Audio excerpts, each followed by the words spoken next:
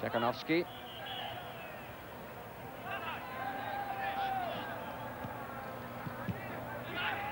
A little bit tight. And here's Boniek. Good save.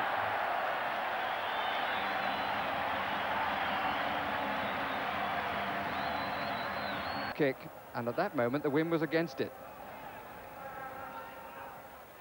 So look out, Mlynarczyk, if uh, the wind is in his favour. Sousa. Well, he hit that one much better than the two previous attempts.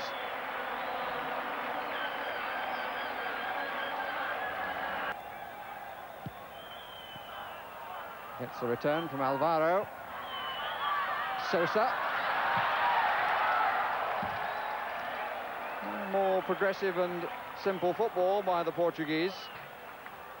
Middle of the field, but the build-up is very, very slow.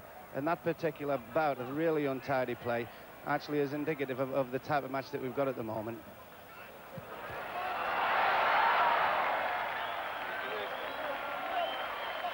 Shot was from Carlos Manuel. Return from Gomes, hit it well, but uh, Rico. Carlos Manuel, Diamantino behind him. Sousa is square of the ball carrier. Diamantino from about 25 yards.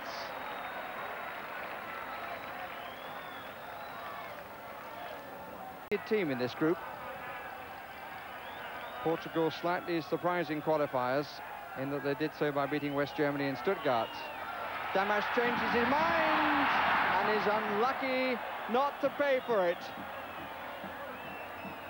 And there's quite an inquiry going on in the Portuguese defence as Smolarek thinks about the chance that was missed. One fell over another. The goalkeeper came a little late.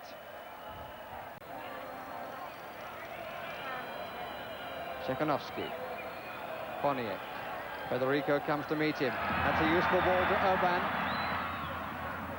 And so is the cross. Boniek! But I think the best bit of play we've seen. It was a good pass in the first place, good pace to collect it, and a lovely angle of cross on the header wide of the far post. The tackle by Frederico has made several of them. Sousa and Futre going forward again. And he was nudged. And the goalkeeper came out and was a little concerned. The goal kick has been given. But I thought there was a nudge just before that moment. And I can tell you that the Portuguese commentator on my right was about six and a half feet in the air then.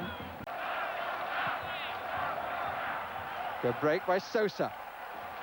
Carlos Manuel trying to get to the middle. Still Sousa.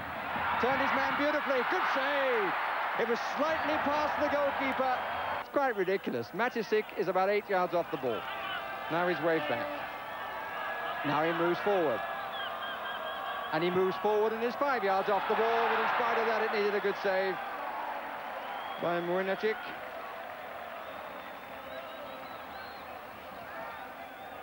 But it really defies understanding. Look at the man on the end of the wall there.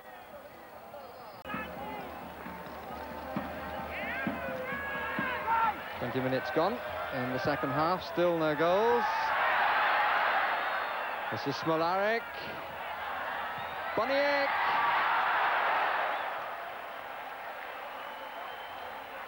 And I'm not quite sure just how much Damash knew about where that ball was going. Smolarek turned beautifully.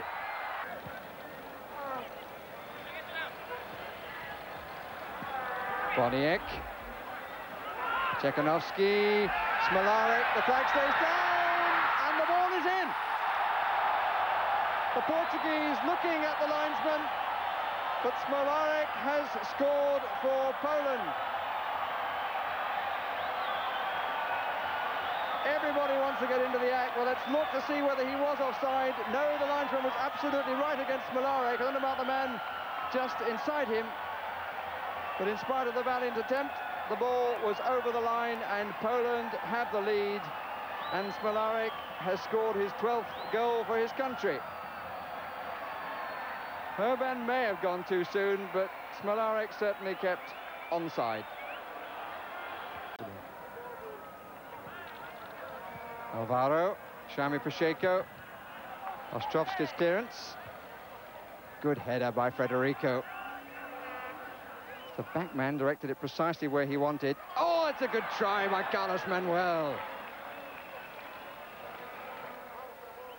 And it was very nearly good enough. Good pace away from his man, struck it very cleanly. Two square, two behind and a goalkeeper halfway between his own goal line and the opposition. And it's going to go in! Yes, yes! No! Unbelievable! Corner! They're coming to appeal to the linesman. But the linesman was right up level. All credit to him. And he said, no, it did not cross the line. Well, we can have a good look. It's on by Michael Magalhaes.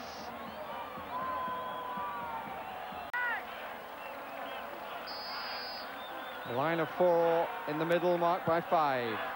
Oh! And Sousa, certainly troubling the goalkeeper, had to move across his goal at great speed. In the end, he didn't need to touch it.